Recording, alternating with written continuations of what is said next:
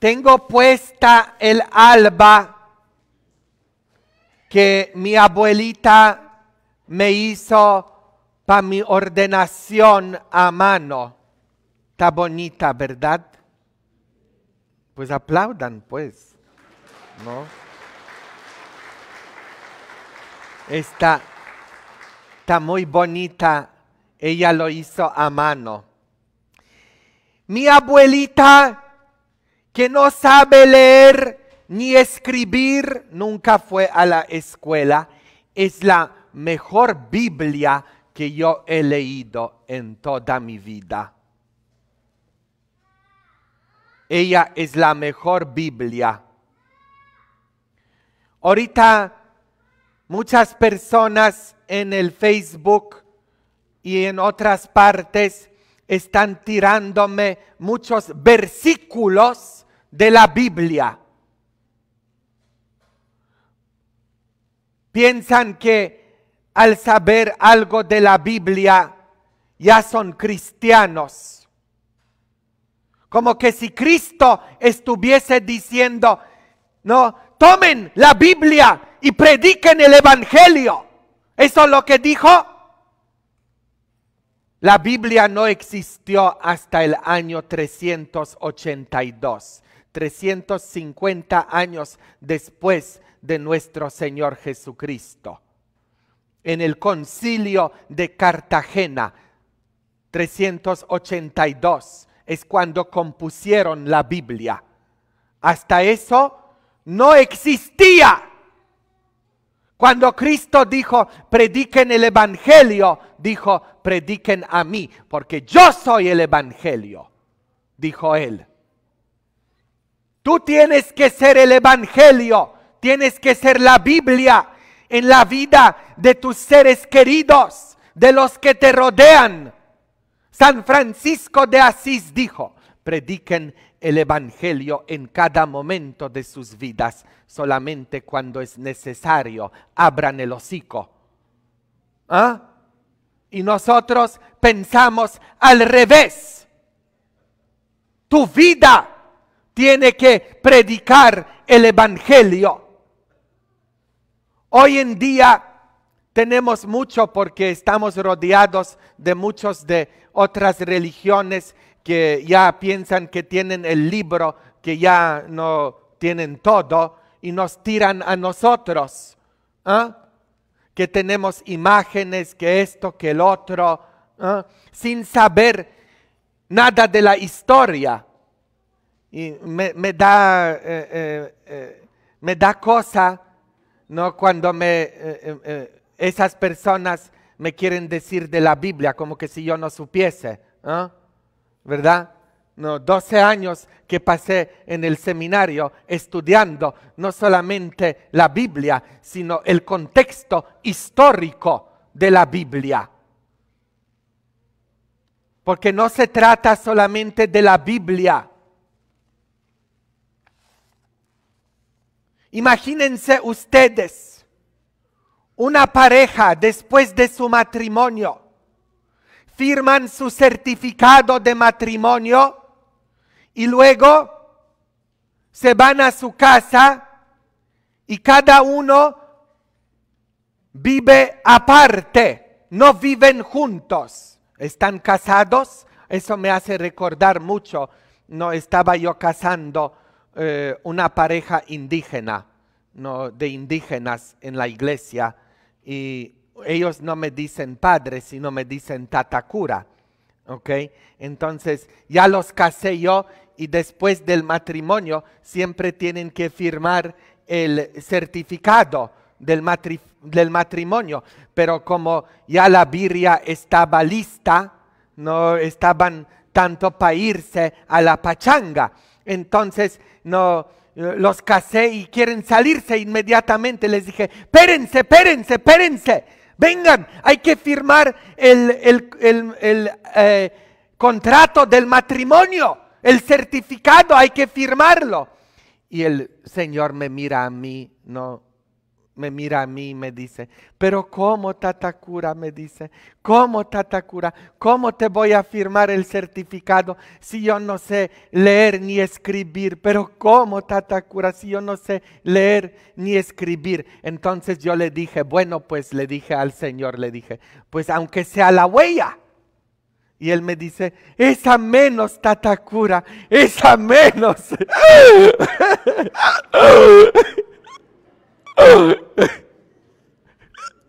es a menos saber leer o escribir. Pero así pasa muchas veces. Ustedes al ser casados se ausentan de su matrimonio. Los sentimientos personales son agradables pero tener un matrimonio es más que tener su nombre en un certificado de matrimonio. Todo se trata de presencia. Tiene que haber presencia, presencia corporal. Cristo se les apareció en persona, dice la Biblia. Un esposo o una esposa ausente realmente no es esposo o esposa. El amor no es amor a menos que sea amor lo que se hace presente para el amado. Déjenme explicarlo mejor para ustedes. ¿Por qué se divorciaron mis papás? Porque mi mamá se vino a Estados Unidos primero, dejó a mi padre en Polonia, estaba ausente. Y es cuando ella aquí se buscó otro, porque estaba sola y la soledad mata a las personas. Y mi papá también tenía lo suyo allá en Polonia, no voy a entrar tanto en detalles. Ese es su problema de ustedes número uno. Tienen muchos esposas en México, esposas, y aquí, ¿qué tienen? Amantes o no. ¿Ah? Aunque debajo de la puente, pero juntos. Muchos se quieren venir al norte, mandan a, eh, sus eh, viejos al norte.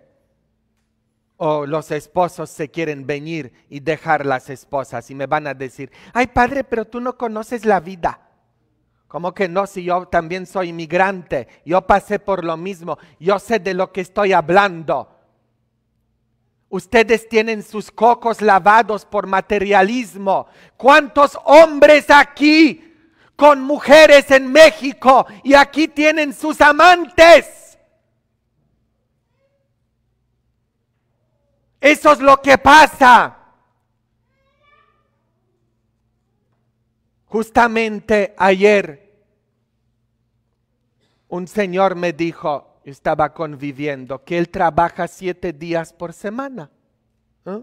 Y no, no, ve nada, nada mal con eso. ¿eh? Solo los bueyes trabajan siete días por semana. ¿O no? Ustedes no son caballos o animales, son seres humanos.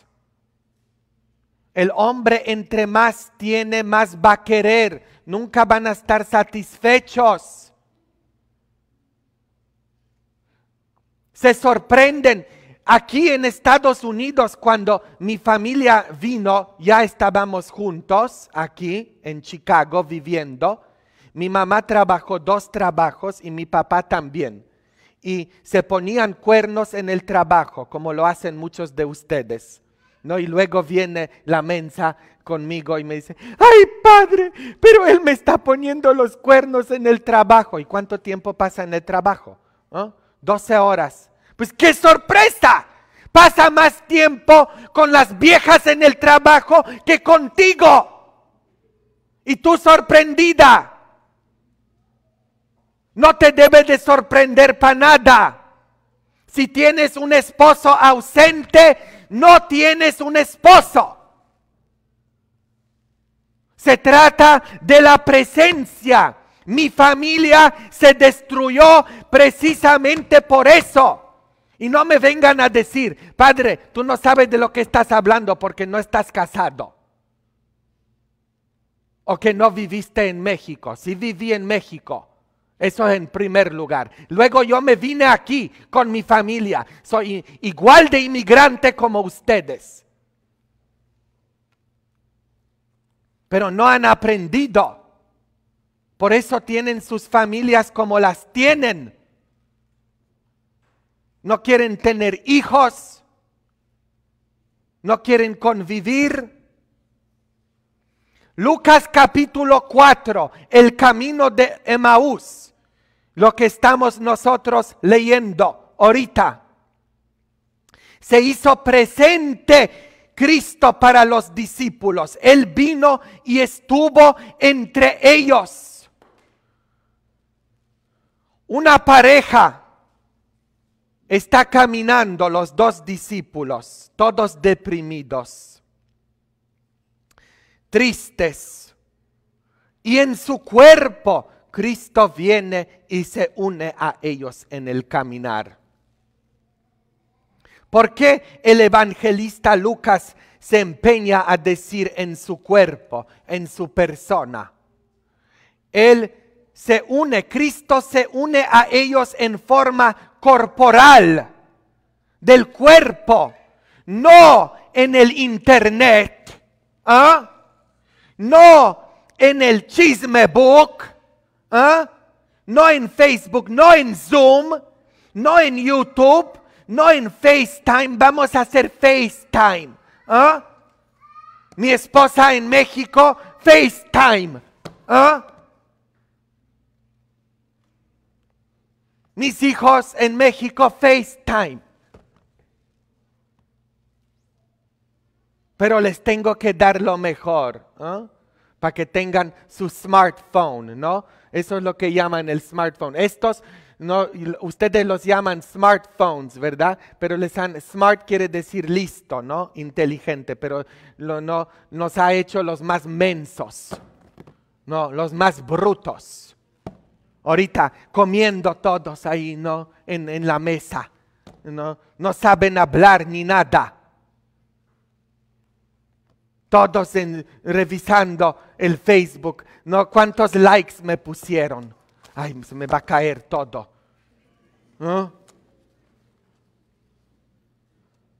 La presencia real. De eso se trata ser católico, la presencia real de Cristo en la Eucaristía verdadera. Hay varias de estas historias de las apariciones de la Pascua y todos dicen, Él vino y se paró ahí en medio de ellos. ¿Y qué les dice? Toca mis heridas, tócame. No, no soy un fantasma. Yo soy real, de carne y hueso. ¿Ah? Tócame, mete tu dedo aquí, coloca tu mano aquí. No hay presencia que no sea presencia corporal.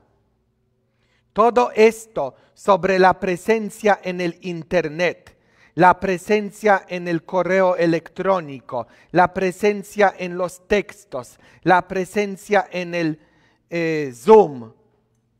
No está realmente presente, todo es superficial, no es real. Como la señora de 88 años que me dijo antes de la Pascua que su hijo, su único hijo, la invitó a tener una cena de Pascua por Zoom. Nomás le dijo, tengo un límite de 40 minutos. ¿Ah? Qué estúpidos. Eso es ser estúpido realmente. No es una cena de Pascua. ¿Qué hemos hecho nosotros a través de esta pandemia? Esa es la pandemia verdadera. ¿No? La pandemia verdadera no es esto del virus, sino es la soledad, el aislamiento. Las personas más sofisticadas son las más brutas. La persona más inteligente en mi vida es mi abuelita. Ella no fue a ninguna universidad. Todos esos intelectuales son los más mensos. Como un doctor que eh, a, una... Em, mi abuelita, ustedes saben, tenía el, virus, ¿verdad? En, ah, eh, en noviembre. Y la llevaron al hospital porque no podía respirar.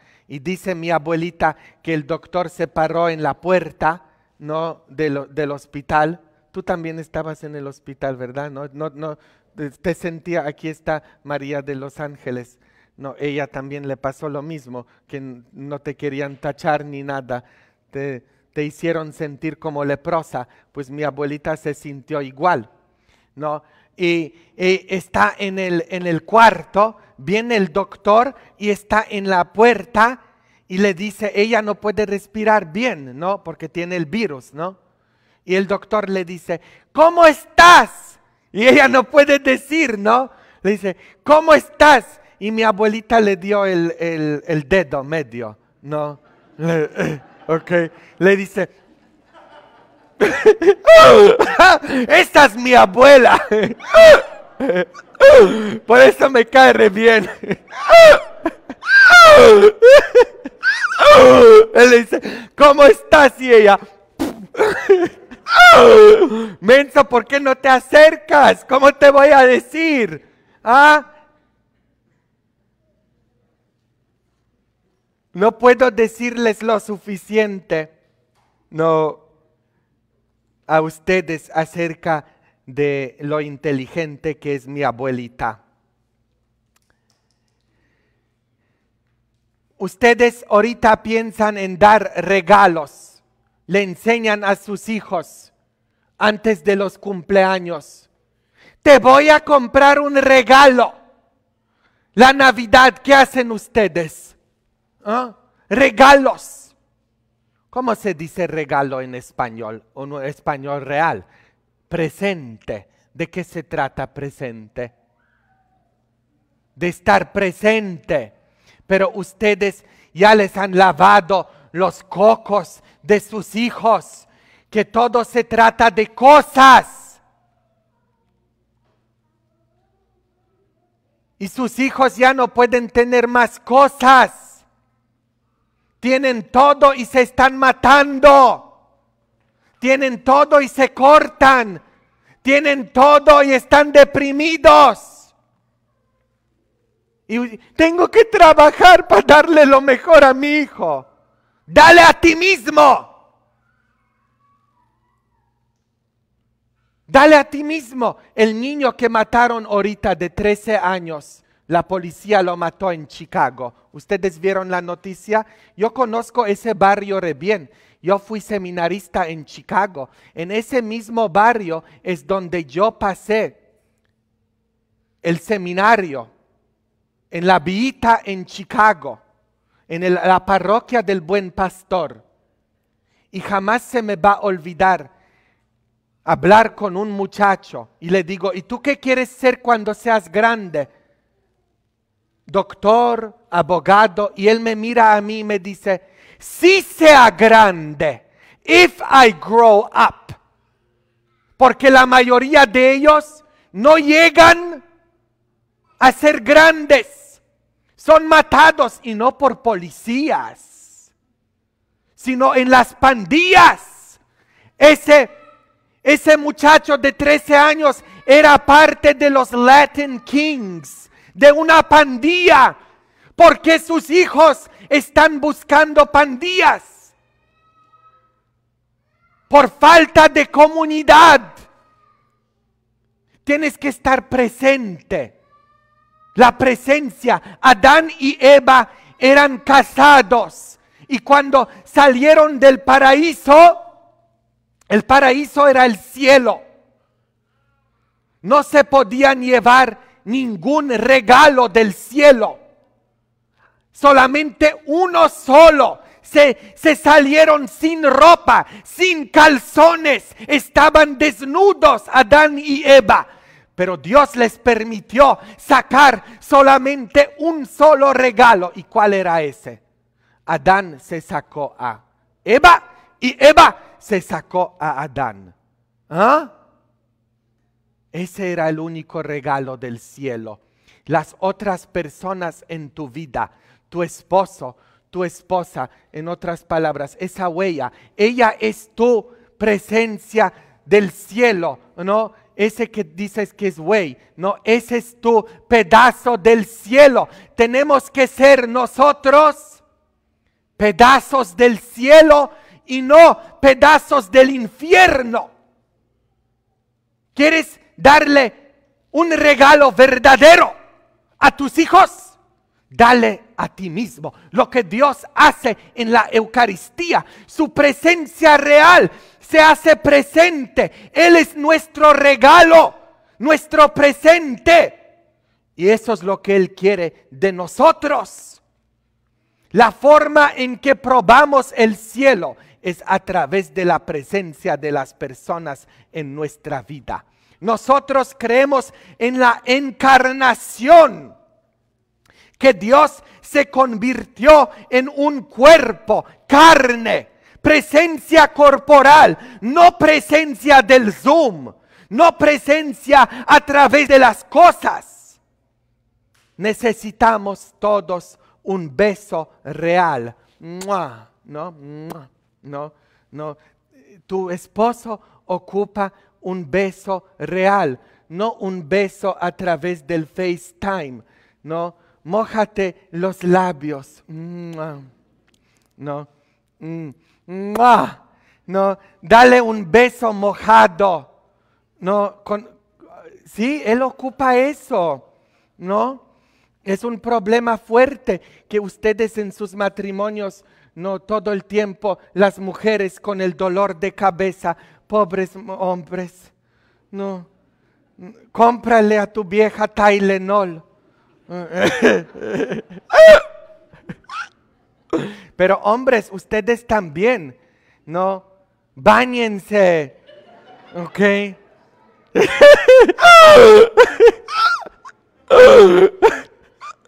Lávense la jeta. Cepíense los dientes. No. no. Quieren ustedes los besos árabes, pero ¿cómo? ¿Conocen los besos árabes? De saliva va y saliva viene.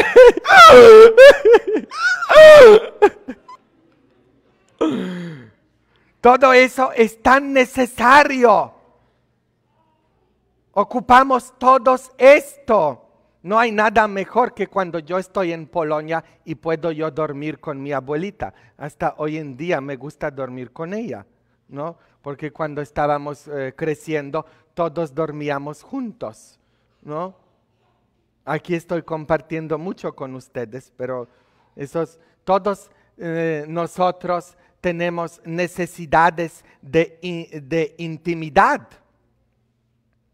tu esposo ocupa esto y si no lo agarra de ti, qué sorpresa, lo va a buscar no, en, en otra, porque no solo del pan vive el hombre. ¿ah? Permítanme señalar que Jesús vino a ellos, no ellos a Él. Vino y se paró entre ellos. Nosotros no venimos a Cristo, él viene a nosotros. Este es el Evangelio. No que nosotros encontremos a Jesús, sino que Jesús nos encuentra a nosotros. ¿Mm? Soy yo quien los he elegido a ustedes, no ustedes que me han elegido a mí. Él está atrás de ti y atrás de tus seres queridos, tus hijos y tus nietos. Tú eres el cuerpo de Cristo Y mientras que tus hijos estén conectados a ti, están conectados a Cristo. Adoración no es solamente adorar a Cristo en la Eucaristía, sino adorar a Cristo en los demás.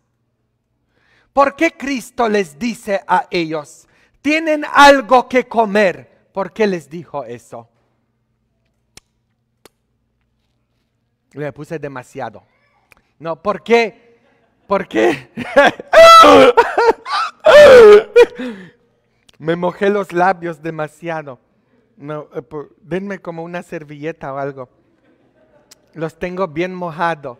Ustedes saben que yo soy más mojado que ustedes porque yo crucé el océano. Ustedes nomás el río grande. No.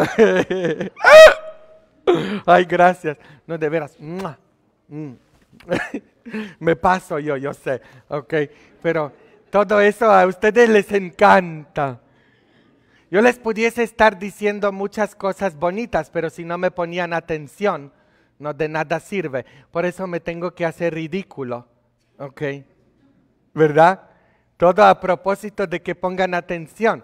Lo que pasa es que a ustedes les gusta el chile, ¿no? Les encanta el chile. De hecho, no, eh, cómo nos ardían los corazones. Ustedes, muchos, tienen que tener el corazón ardiendo no solamente la cola, ¿ok? sino el corazón. Ayer eh, fui a, a, un cumpleaños y tenían tortas ahogadas de Guadalajara. ¿Conocen a las tortas ahogadas? No, de hecho, muchas esposas aquí, no bien desnutridas, denles una torta, ¿ok? pobrecitas, pero tortas ahogadas y están ahogadas en el chile y estaban comiendo con la mano. Y yo dije, ojalá que no sé, cuando vayan al baño, no sé.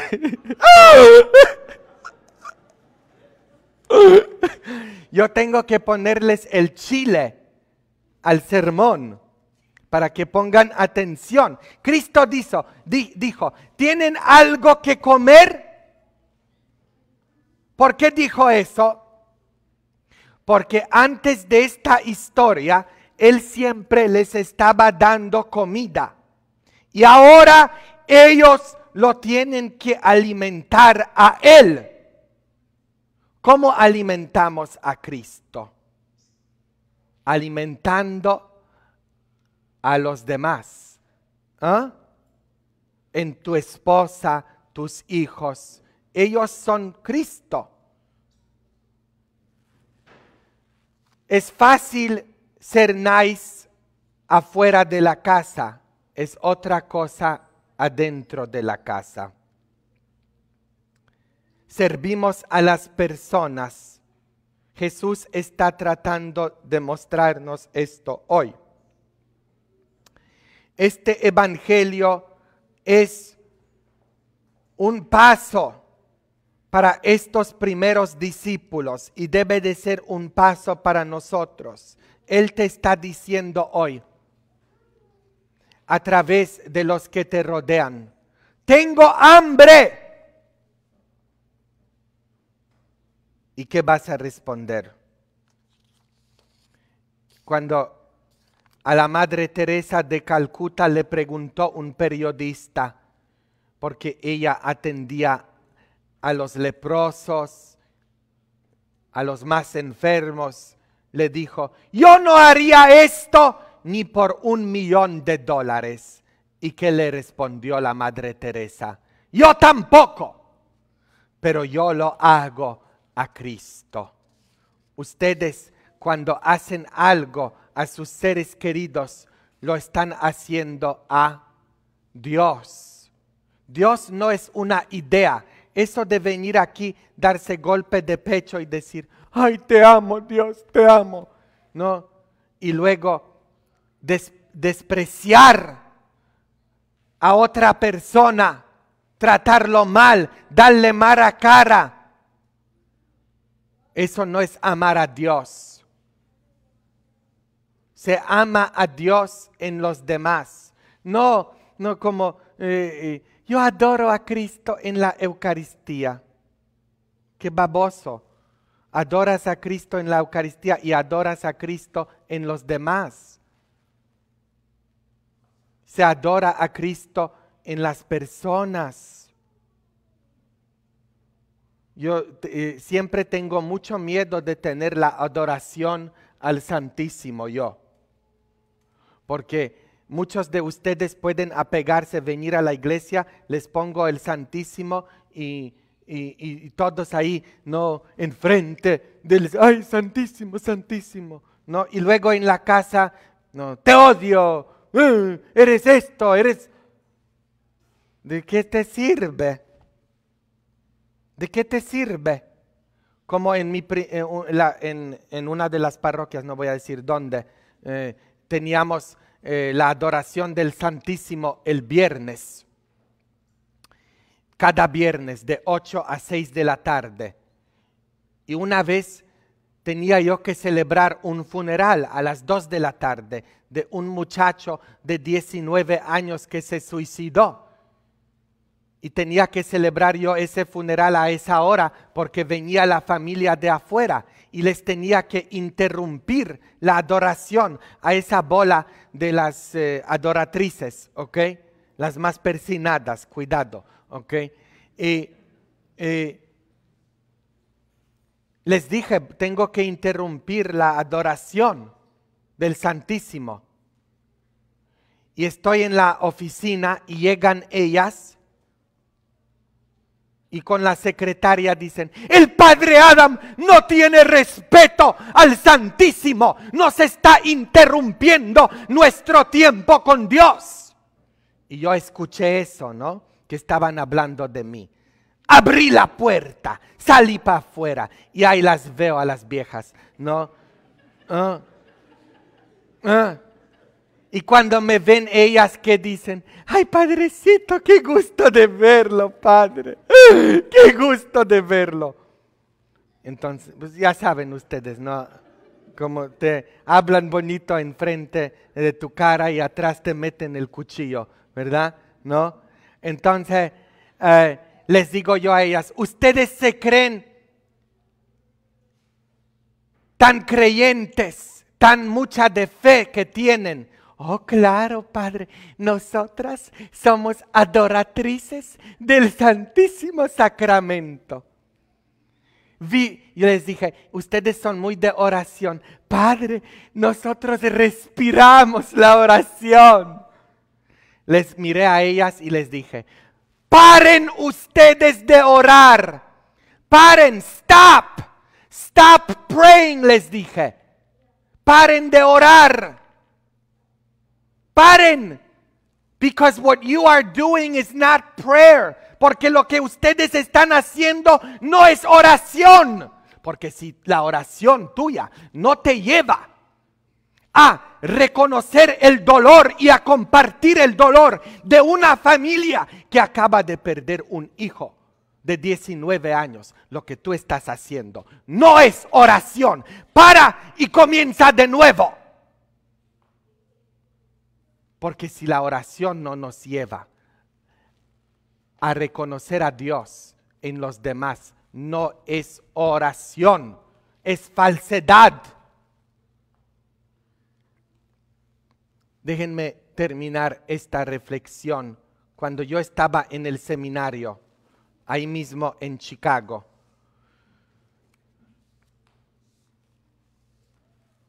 cada sábado íbamos yo con un compañero al asilo de los homeless. Ah, era un asilo de los homeless que tenían las monjas de la Madre Teresa de Calcuta.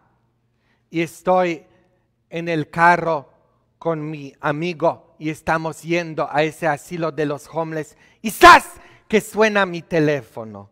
Lo contesto bueno, como ustedes, ok. Bueno, ah, y me pregunta otro amigo, ¿qué estás haciendo? Entonces yo le dije, yo y el otro amigo estamos yendo, vamos al asilo de los homeless, al homeless shelter, para darles de comer a los homeless. Les vamos a dar a comer a los vagabundos. Y en eso mi amigo que estaba en el coche conmigo, para el coche, ¡zas! me jala el teléfono y le dije, le dije, ¿qué ondas, no? ¿Mm? ¿Qué hubo, pues? ¿Qué hubo, campeón? No, le dije. Y él me dice, tú no vas al asilo de los homeless a darles de comer a los homeless, porque los homeless son seres humanos. Se da de comer al perro y al gato, se les sirve de comer a un ser humano. Al ser humano se le sirve de comer. Ah, y todas ustedes aquí yo las estoy viendo, ¿no? Dicen, oh sí, padrecito, tienes razón. ¿Y en la casa? ¿Ah? Llega el esposo de la chamba todo el día, bien fregado, ¿ah? del field, o de la construcción, o de las yardas. Llega a la casa y ¿qué le dices? Viejo, siéntate, te voy a dar de comer. ¿O no es así? ¿Ah? Ya las estoy viendo. Y le avientas la tortilla. No. Ni siquiera echa a mano del paquete, de la misión o del guerrero.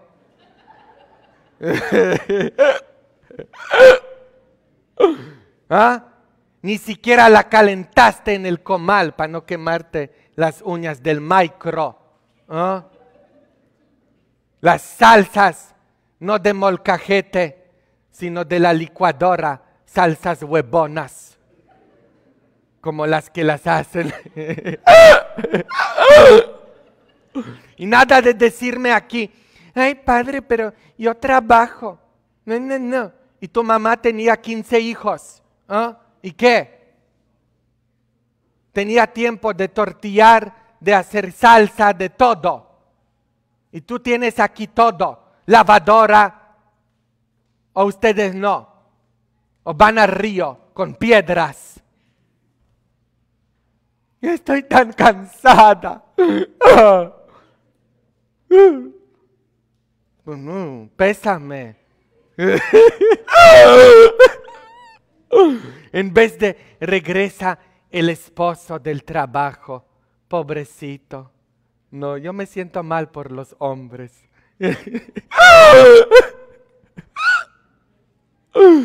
los veo desnutridos.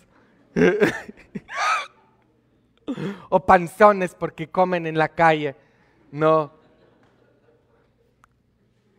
eso de que es, panzón, ¿es culpa de quién? ¿De él?